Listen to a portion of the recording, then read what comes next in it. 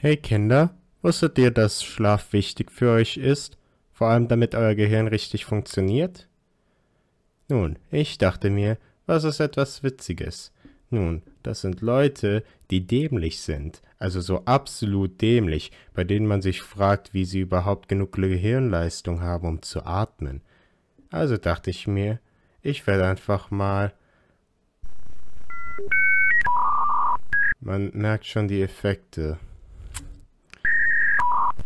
Also ich werde progressiv weniger und weniger aufnahmefähig sein.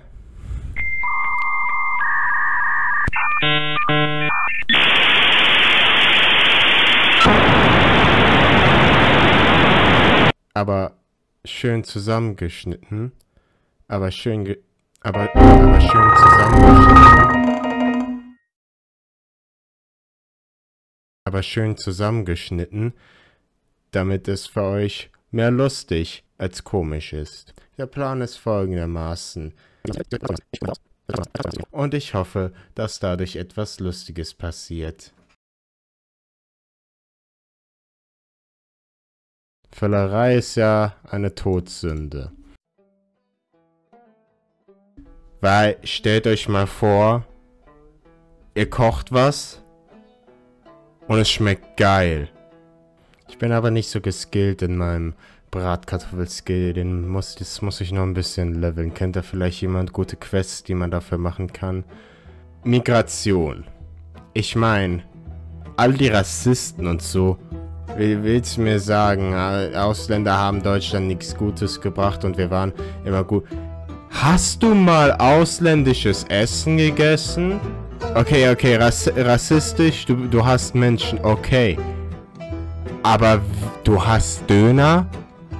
Alles okay? Nein, offensichtlicherweise nicht. Aber was ist Okay, vieles ist bei dir falsch. You may not like it. But this is the ideal male body. This is what peak performance looks like. So hier, das bin ich so ich. Wenn, wenn, wenn, wenn ich so denke, ja, meine Bratkartoffel verbrennen. Meine Bratkartoffeln verbraten sich. Meine Bratkartoffeln verbrennen sich. Meine Brennkartoffeln verbraten sich. Meine Bratkartoffeln habe ich in den Ofen getan. Meine Brennkartoffeln verbrennen sich. Ich verbrenne meine Brennbratkartoffeln. Ich verbrate mich, wenn ich meine Brennkartoffeln hole. Laufen, for real, sehr underrated. Das ist Nein, 19. Jahrhundert Franz, Franz, Hans. Er wollte seinen B Kumpel Franz besuchen, der eine Gans hat. Und die Gans, die glänzte. Und der Hans hatte kein Benz. Also musste er zu Fuß zu Franz mit, also musste Hans zu Fuß mit zu Franz mit seiner Ga Gans, die glänzt, fahren, weil er keinen Mercedes-Benz hatte. Aber, aber, heutzutage, heutzutage denkt sich niemand mehr, ach, laufen, ja, lass mal hier nach Bremen laufen. Nein, das denkt sich niemand, weil sie alle ein Mercedes-Benz haben, mit dem sie lieber zu ihren Kumpel fahren. Leute, das ist nicht gut für euch also hier die simple Logik. Hab einfach keine Freunde. Okay, wir sind, wir sind beim Buchstaben S angelangt. Ich hatte erwartet, ich hatte gehofft, dass dieser Moment nicht so schnell kommt. Aber lasst uns über Sex reden.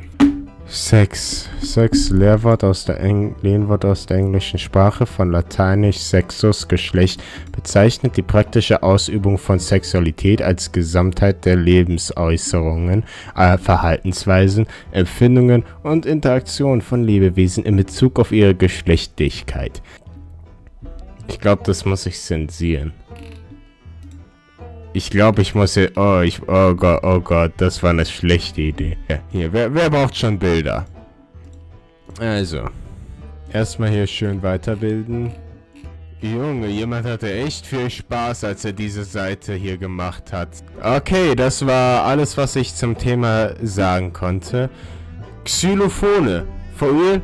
Underratedes Instrument. Willst du mich heiraten? Das passiert nie, Jungs. Vielleicht läuft alles falsch, wie du findest, wie dein Leben laufen sollte.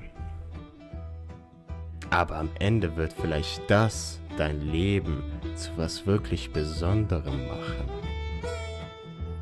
Ich meine, können wir mal bei so einem richtig geilen Essen, so richtig geil, einfach mal sagen Zugabe statt Nachschlag? Oder stell dir vor, beim Boxing, du sagst Nachschlag. Warum sagt man das nicht beim Boxing? Nachschlag. Ich hätte einmal bitte Nachschlag, bitte. Okay, zurück zum Thema. Habt ihr euch mal so ein Graph von einer Lobotomie angesehen?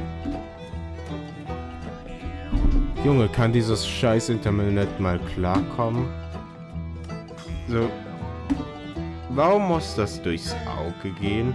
Ich meine, du, du, du zerstörst gerade einen wichtigen Teil des Gehirns wegen pseudowissenschaftlichen Sachen. Aber du musst es doch bemerken.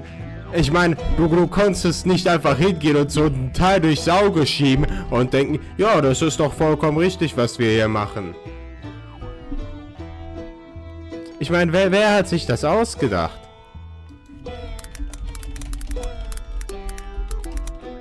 Antonio Egas Muniz. Wisst ihr, so... Leu die Leute auf der Straße könnten die normalsten Leute... Also du denkst, das sind ganz normale Leute, aber du weißt nicht, wer unter ihnen hat die Lobotomie erfunden. Ich war kurz davor zu sagen, vielleicht habe ich ja eine Lobotomie bekommen. Ich weiß, aber ich weiß nicht, wie geschmacklos das wäre. Ich meine Lobotomie da nicht mehr durchgeführt, also denke ich mal, es geht hauptsächlich okay. Ich sag einfach, ich bin nicht zurechnungsfähig. Ich bin gerade so müde, ich bin praktisch betrunken. Ich darf nicht Auto fahren in diesem Zustand, weil ich keinen Führerschein habe. Aber hätte ich einen, wäre das keine gute Idee, weil ich nicht Auto fahren kann. Institutionell werden kleine Menschen diskriminiert weil, ich stelle, ich stelle vor, ich meine, all die Sachen, die man kaufen muss, Klopapier und so. Äh, wo soll man das lagern? Oben auf dem Regal. Wo kommen kleine Menschen nicht hin? Oben aufs Regal. Wie zeichnen Leute mit einer Maus bitte? Weißt du, wie, wie schlimm das ist für uns großen Menschen. Wir müssen die, die ganze Zeit kleinen Menschen ihre Sachen von oben holen. Ich, Olaf, ich sehe jeden Tag, wie zahllose kleine Menschen wegen ihrer Größe auf Twitter gemobbt werden. Ich meine, es ist extrem lustig und es ist extrem praktisch. Ich meine, so kleine Menschen, wenn die halt werden die dir ein bisschen auf die Nerven gehen und hebst du sie halt hoch und wirfst sie weg wie ein Football. Sind ja auch ungefähr so groß und so schwer. Aber das ist gerade nicht das Thema. Ich meine, wer hat die kleinen Menschen nach ihrer bedeutungslosen Meinung gefragt? Ich nicht. Täglich kriege ich null Briefe von kleinen Menschen, die mir ihr Leid mitteilen, was sie nur erfahren, weil sie klein sind und winzig. Bist du unaufmerksam? Trittst du auf sie? Ich meine, das ist doch kein Leben, Olaf. Wir leben im 21. Jahrhundert. Wir können, warum kann nicht Ratio Farm einfach irgendein Heilmittel für unter 1,75 sein erfinden? Kleinen Menschen kannst du einfach was nehmen und einfach hochhalten. Was sollen sie tun? Es nehmen? Ach nee, können sie nicht, denn sie sind klein viel kleiner als du. Olaf, wir leben in einer Zweiklassengesellschaft zwischen denen, die den oberen Teil des Kühlschranks gesehen haben und denen, die es nicht getan haben. Weißt du, was diese Menschen verpassen, Olaf? Mach endlich was gegen kleine Menschen, für kleine Menschen. Wasser mitten in der Nacht ist wie Alkohol beim Fahren. Ein Spaß für die ganze Familie. Erneut diese Videos wurden ohne jeglichen Einfluss von extra Substanzen gemacht. Sehr viele Vodafone-Mitarbeiter stehen auf meiner Todesliste wegen diesem Internet. Wisst ihr, wer auch Wasser getrunken hat? Hitler. Zum Glück habe ich seitdem auf ein Brand umgeschaltet, was absolut gar nichts mit Nazis zu tun hat, nämlich Fanta.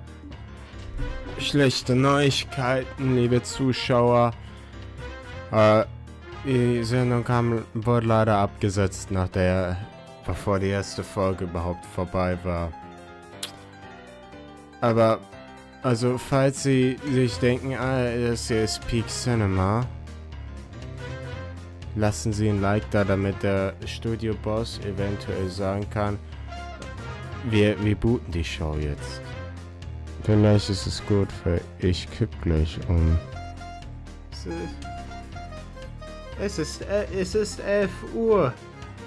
Ich bin um äh, 11 Uhr. Ich, ich, ich, ich, ich dachte, das hier ist der Höhepunkt meines Lebens und ich werde nicht einschlafen. Es ist 11 Uhr. Ich fühle mich, als würde ich gerade im Sterben liegen. Wie, Vielleicht habe ich einfach mentale Probleme, weswegen ich es einfach so sehr mag zu schlafen. Ja, das ist vermutlich eine sehr gute Erklärung.